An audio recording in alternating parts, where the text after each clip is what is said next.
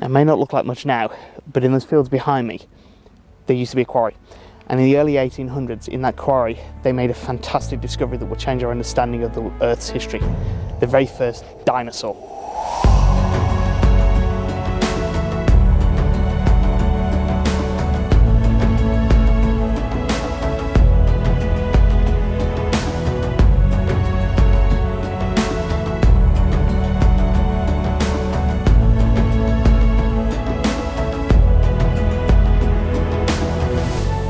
In his 1677 book, The Natural History of Oxfordshire, Robert Plot drew the first illustration of what turns out to be a dinosaur bone. Now, he didn't actually know really what it was. First, he thought it was the end of the thigh bone from a elephant brought over by the Romans, and that was the prevailing idea for it for, for centuries. And it did get nicknamed the scrotum humanum. Can't imagine why. Now, in the early 1800s, geology itself was a very young science, and a lot of naturalists were using the Old Testament and the story of Genesis as the basis for their understanding of the history of the Earth. Now, all this had started to change in the late 1700s, particularly with the work of a guy called Georges Cuvier from France, who made the fantastic discovery that species will actually go extinct. And he did this by comparing fossils of mastodon and modern elephants, and the realization that although they were similar animals, there was nothing quite like the mastodon anywhere else in the world anymore, and this helped develop that concept of extinction. Now, this really kind of took a took the next step with the discovery of large reptiles. So this rather spectacular jawbone was acquired by Christopher Peggy in 1797 for the princely sum of 10 shillings and sixpence. Here just south of Stonesfield in Oxfordshire in 1815, the workmen at the quarry discovered more bones. Now the fossils found in this field eventually made their way to the reader of mineralogy at Oxford University, William Buckland. And William Buckland for a long time couldn't figure out what these animals were. He knew there was something large, but he didn't know what it was. And it was when Georges Cuvier came over in 1818 that he had a look at the animal and realised that it was a large reptile, and he estimated it to be somewhere around 12 metres long. Now, some of the things that hinted to Cuvier that this was a reptile was the way the teeth were formed.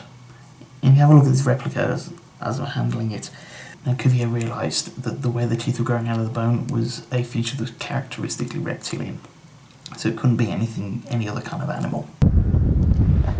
Now, at first, Buckland didn't want to publish his results because the man was actually full title is Reverend Dr. Buckland, and he found the concept of an extinct large reptile particularly hard to reconcile with his beliefs in the Old Testament.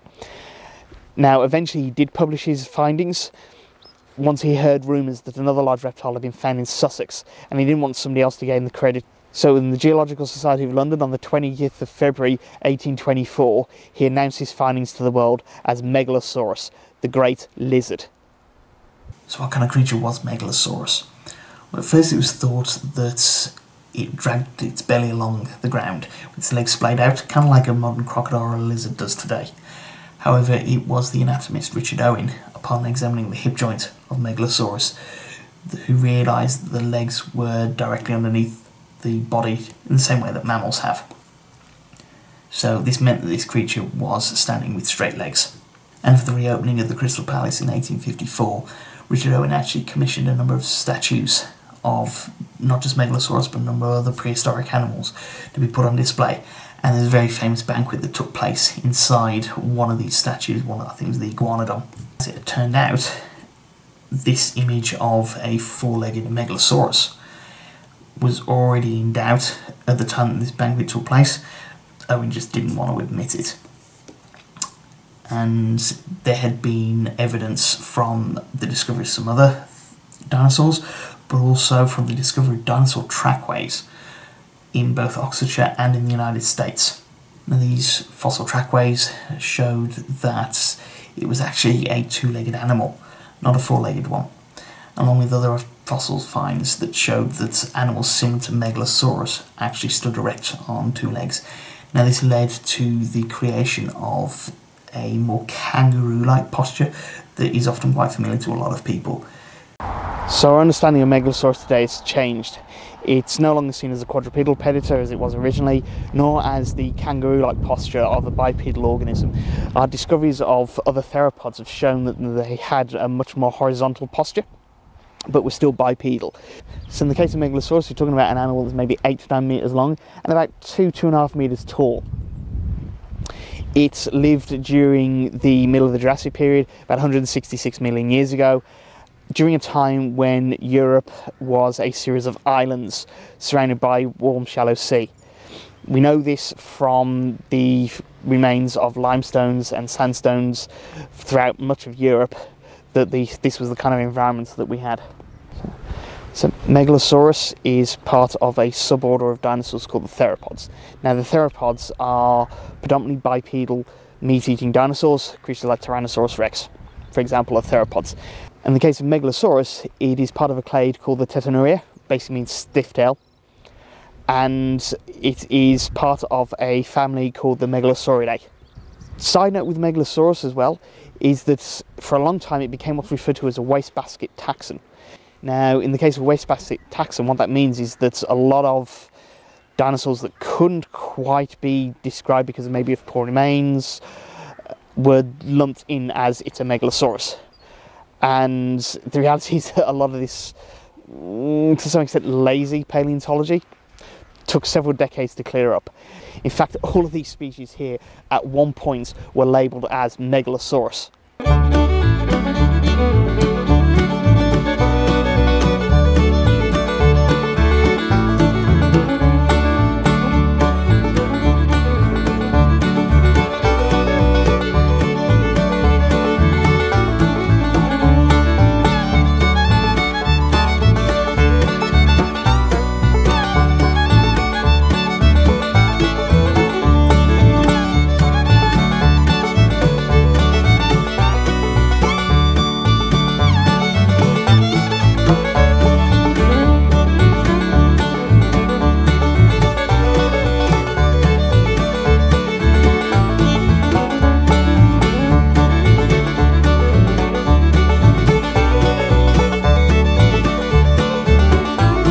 Can see the remains of the Megalosaurus that was found in these fields in Oxford University's Natural History Museum. Now what they found was the jaw, part of the front of the skull, along with the hip, part of the legs and some of the vertebra. Now we managed to flesh out Megalosaurus by finding some other similar species including things like Eustreptospondylus to give us a much more rounded idea of what Megalosaurus looked like. Now, Megalosaurus may not be as famous as Tyrannosaurus rex, it might not have been as large as Brontosaurus, or as powerful as Stegosaurus, but it holds a particular place, a special place within paleontology as the world's first discovered dinosaur.